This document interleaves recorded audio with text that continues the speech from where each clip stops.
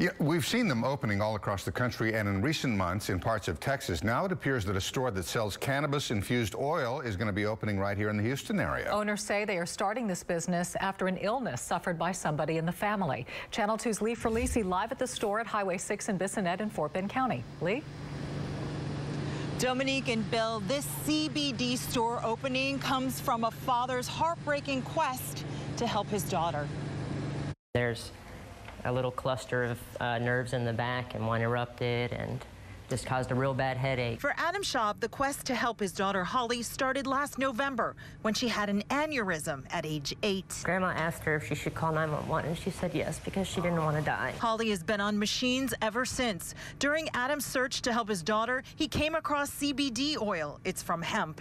According to the FDA, CBD is a chemical component of marijuana, but it does not cause the high that comes from another component of marijuana called THC.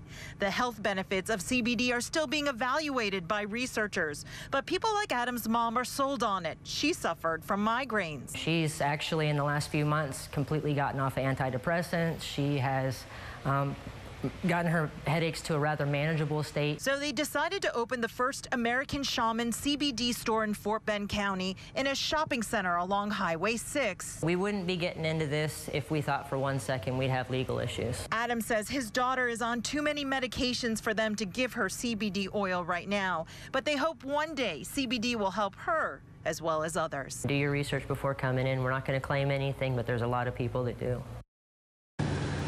So this store is set to open September 22nd. Is CBD legal or not? That is a question we've been trying to track down today. One law enforcement agency told us it is legal. The state health department told us that there are conflicting regulations and those regulations are under review. We're live in Fort Bend County. Lee Ferlisi, KPRC, Channel 2 News.